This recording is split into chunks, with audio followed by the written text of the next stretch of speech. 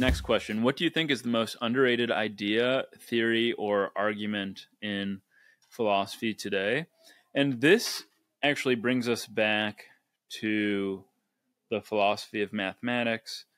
And what I have in mind for this question is something known as the Benacerraf Field problem or objection.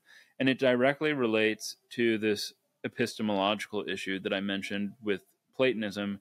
And the objection or question is how, in the case of mathematics, how can we have knowledge of mathematical objects, i.e., the set theoretic universe, if we're not causally connected to it or more loosely or charitably connected to it and we don't have some information transferring contact with this universe.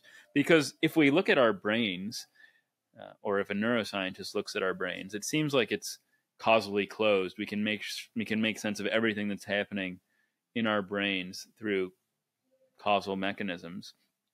So this is it's just also known as a cognitive access problem. I think of it think of it as maybe an interaction problem. And i should stress that the Benacerraf Field objection is not something that is ignored or under or maybe that's not how I should put it. Every, everybody knows about it who works in philosophy of math or in some relevant other areas like meta ethics, but I think it's underappreciated and ignored because anything everything that I've encountered that has been meant to be a response to this to vindicate something like mathematical Platonism ha- is just very, very unsatisfying.